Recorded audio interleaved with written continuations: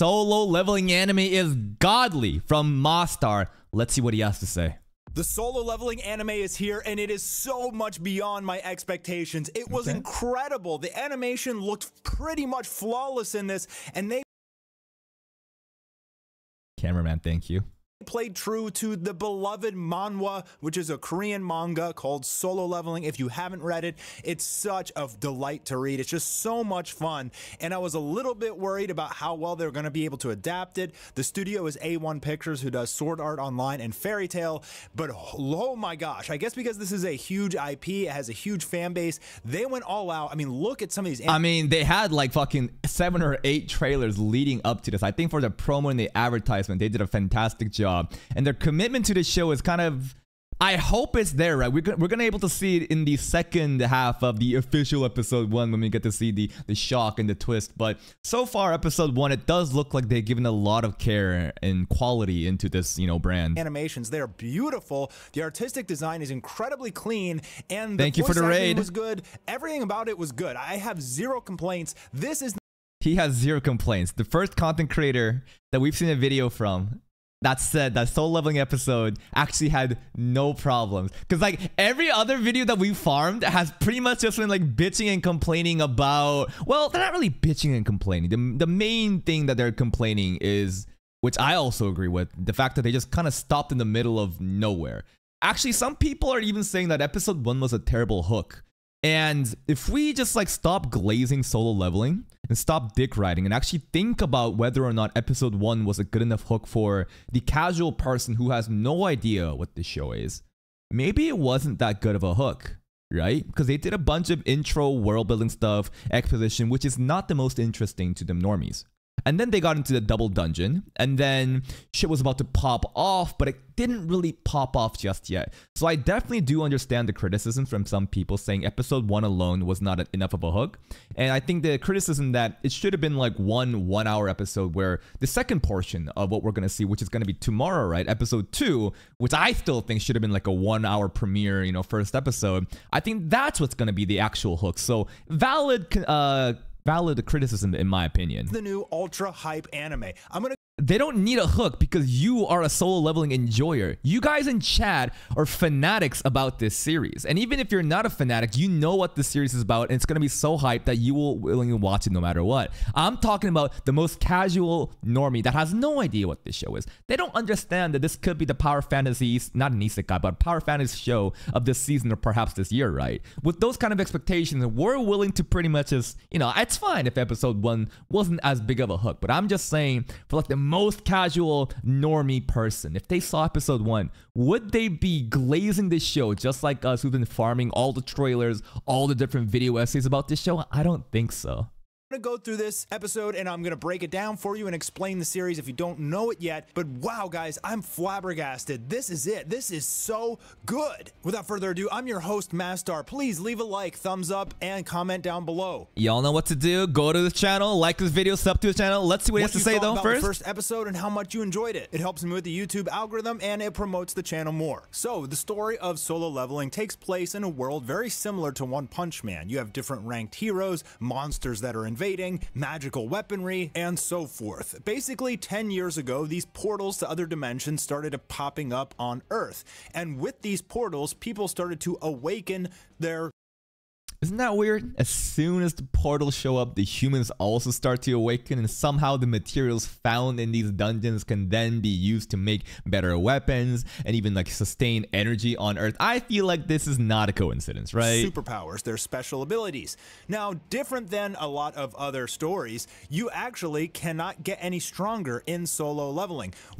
Unless you're the main character, where you apparently you can level. Once you awaken, you're given a rank, with E being the lowest and S rank being the highest, similar to That's such bullshit, man. Like literally, I mean, that's not so different from life, right? Pretty much your spawn point in life is the biggest determining factor on how much you'll thrive in the world. So these people here are pretty much just like given. They're just awakened into S rank or fucking D rank. That's just bullshit, man. It's all fucking RNG. One Punch Man. And while you can't improve, you cannot upgrade, you cannot level up, you can buy magical weaponry to get stronger in that sense. So with higher levels So you can buy, so you can improve and like hone your techniques, but how much can you really train your D rank magic skills, right? It's probably not going to be on a C rank, but you can still train and you can also get different, you know, items, I guess. Okay. Of gear, better weapons and armor and artifacts. You can get stronger in that sense, but you yourself cannot increase your abilities anymore.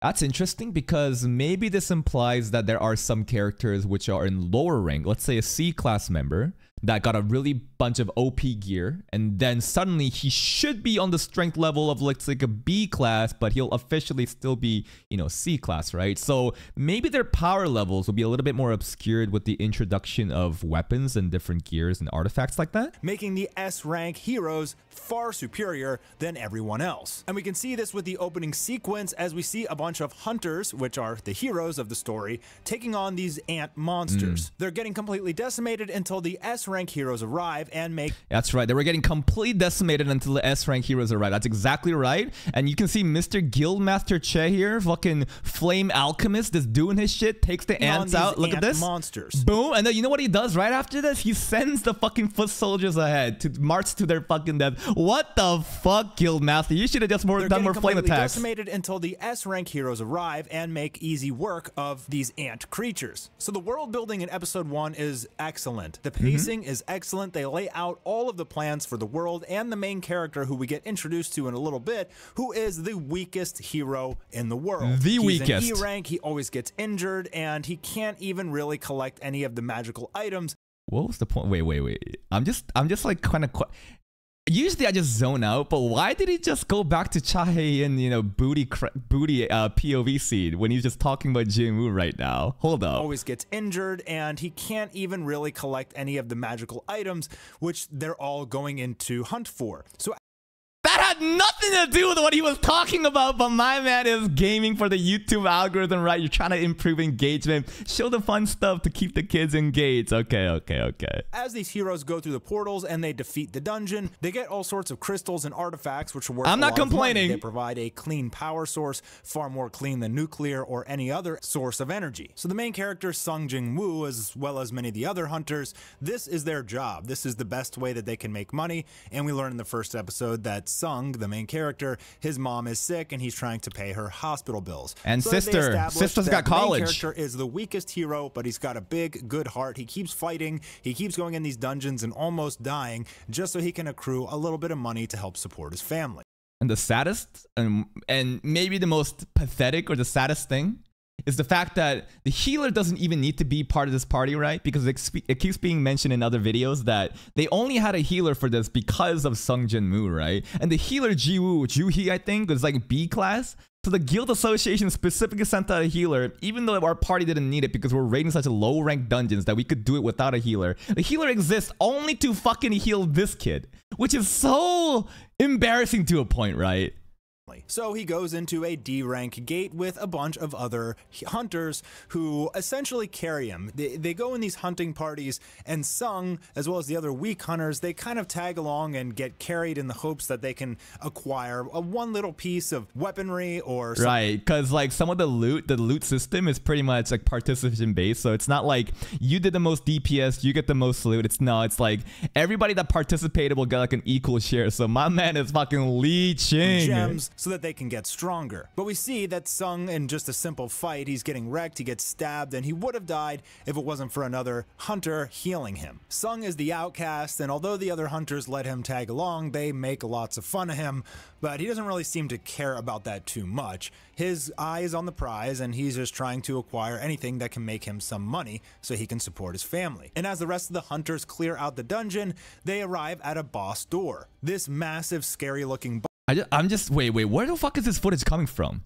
This is like episode two content. Maybe this is like episode two uh, uh, trailer, like PV. The boss door. This massive, scary looking boss door. These people have no idea what's in store for them. Well, they should have seen the door and immediately back the fuck off, right? This is from the trailers. Okay, okay, okay. It's not really spoilers. We're gonna watch the two PV video from him tomorrow too. But as soon as you saw the boss gate that's like 50 foot high, you should have been aware that this is nothing to fuck around with. And as soon as you enter the room, these blue torches start lighting up with gigantic knight statues on the side. Like you should have known exactly what the you know the mission is. Get the fuck fuck out, survive, but no, they just want the money. Most portals are very cut and dry. They're given a rank anywhere from E to S. You go in, you kill all the monsters, there's a boss containing the best items, you kill him, and then you can leave the portal. The But this is a double dungeon, and double dungeons is so rare. There's only been like one other instance where a small guild apparently cleared it, and overnight, because of those rewards, they just skyrocketed themselves from being like a little st- small startup to like a huge giant corporation, or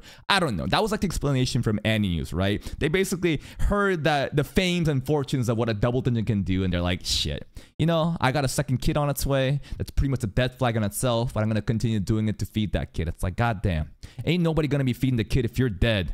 The portal closes. But for some reason, this dungeon has this massive door and this massive figure in this huge hallway. This mm-hmm. creepy statue That's red flag one and red flag two immediately. Get the fuck out. plays a very large role in the continuity of the story. Don't worry, I won't spoil any of that for you, but you'll definitely not forget Continuity of the story. So the statue is actually really important, not just for the intro, but for the future as well. Okay, okay. get this great statue All right. as all of the other smaller statues begin to come alive and these heroes or hunters quickly realize that the area that they're in is way higher level than it should be something about this portal is not right and now they're fighting for their lives the statues in this huge chamber begin to come alive and they're insanely powerful probably s rank or even higher That's- that's- they start to one You guys think that's a spoiler? That's not really a spoiler. I mean, it's like a very mild spoiler. Now, if he told us exactly why the statue is important, sure. But him just saying, hey,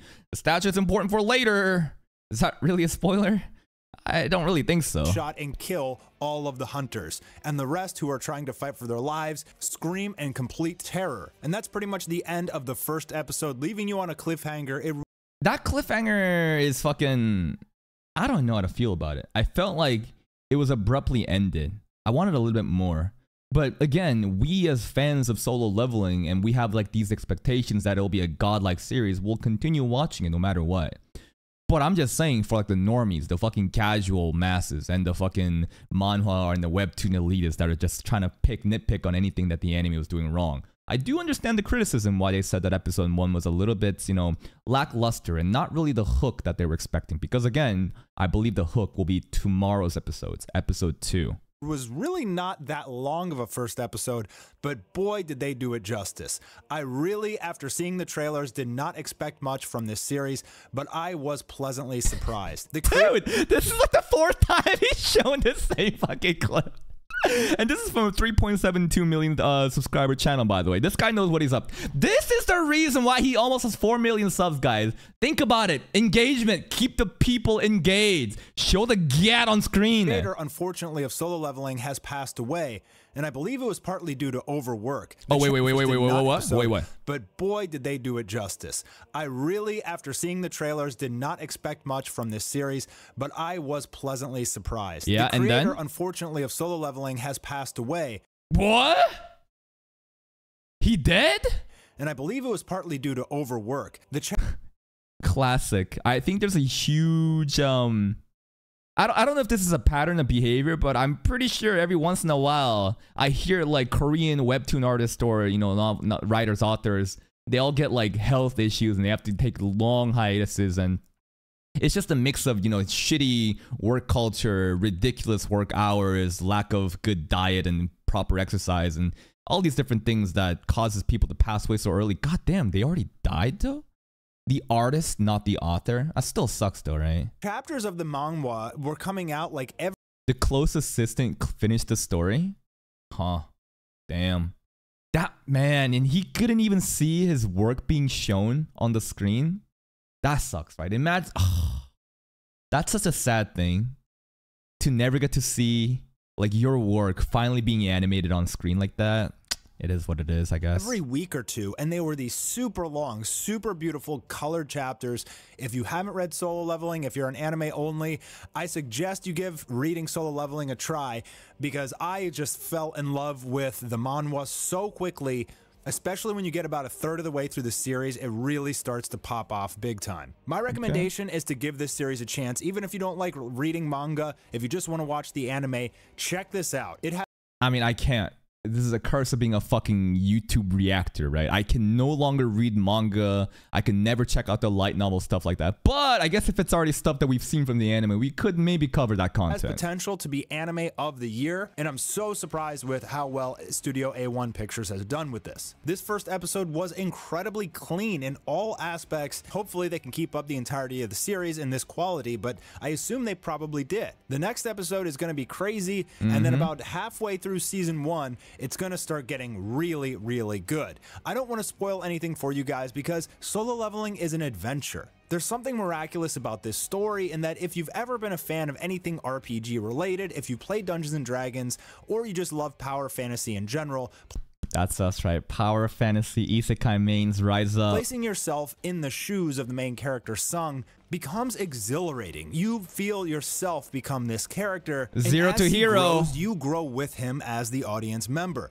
But there's plenty of twists and turns in this story, tons of mysteries to be revealed, and if you've never read or heard of solo leveling, boy, are you in for a roller coaster. But most of all, what this series does best is the sheer excitement of seeing the character of Sung grow. Almost every chapter has a battle, there's not really any slow moments in the series. It's continual fun and progression with every chapter and episode, and you'll see that as this series progresses. The series is scheduled to have 24 episodes, and it But the first season is only like 12, right? appears that chapter 1 and episode 1 went hand in hand. So, 24 episodes, we will begin to see some of the more exciting parts of this series. But Well, that's good to hear. At least season one has some of the more fun content, even though it's like the early game. But it is slated for 12 episodes this current, like the next three months, right? And then I believe we're gonna have like a split cour, right? Where the rest, the other 12 episodes will be shown maybe a couple months down the road. That's what I'm assuming. we'll have to get to about episode 10 for you to truly understand where this series is going. Fifth time with the yeah, but I, really, we're gonna have to wait till episode 10 for us to truly understand where the series is going. I'm sure the episodes in between are just gonna be fun. But if there's ever an anime where you have to say, like, just trust me, bro, it gets better at episode 572, it's like, I feel like you're you could be doing something better with your time. going because you may see Sung now and think, oh, great, another anime with just some weakling, but boy, you have no idea what's coming. In one respect, it is similar to One Punch Man with the different ranked heroes, but in another respect, it's the opposite of One Punch Man, which really focuses a lot on the S rank heroes and their backstories. Instead, this anime or this story of solo leveling Everybody? Focuses more on the main character than anyone else. Okay. Okay. Well, that's, that's well, that's one of the interesting things because like One Punch Man and show like I compare One Punch Man and Eminence in Shadow to be very similar because if you look at the overall structure of it, Shadow and Saitama are like perfect ultimate beings that can defeat anything pretty much effortlessly. But if you always have the main character come in and just save the day immediately, it's kind of boring. So you have to focus on fleshing out everyone else around them so that you're immersed into the story so that when they fight an enemy that you know that the main characters can beat instantly because you're immersed and in the perspective of the side supporting characters you feel the threat the imminent threat. You know that shadow or saitama can show up at the end and just end it but because the side characters are so well fleshed out you get to still feel the threat and it's not you know boring. But i guess this show still focuses on Sung Jin Woo's you know progress into becoming this ultimate being. Now, what's going to be very interesting is I'm sure there's a point, and this is common in many power scaling animes, where in the beginning it's a bit easy to maintain, but as he gets stronger and stronger, there comes a point where it's like people can no longer kind of like see him as a weakling. People can no longer like it's hard to make him be the underdog. When he gets so strong, are we gonna just have him still be the focus of the story? Or are we gonna have a bunch of other people and then do this formula of, oh, Sung Jin Woo then shows up at the very end to save the day? I would like something like that too. And while it does embellish on some of the other characters, you can't help but root for the main character in every one of his battles. Episode 1 was delightful. I would literally give it a 10 out of 10. I have zero criticisms. Sixth time. Holy shit, dude. You guys have to watch this show, and hopefully, this video performs well because I would really like to review this on an episode by episode basis. I love solo leveling, it's a fantastic, fun story that I highly encourage you to get into. I'm Mastar. I hope you enjoyed the video. If you did, remember to leave a thumbs up and Y'all know what to do. This guy's channel is Mastar, and before on my first channel, when I covered One Punch Man manga content, he was the one of the channels that I shared an audience with for some reason. He is, I believe, trying to you know um reach out to a separate niche, right? Because he focuses specifically on One Punch Man, but now he's trying to do solo leveling. So I'm sure with your guys' help. That we can help a small creator like Mastar reach 4 million subscribers with solo leveling. So please, guys, give him a like, subscribe to his channel. I'll be looking forward to reacting to many more of his videos.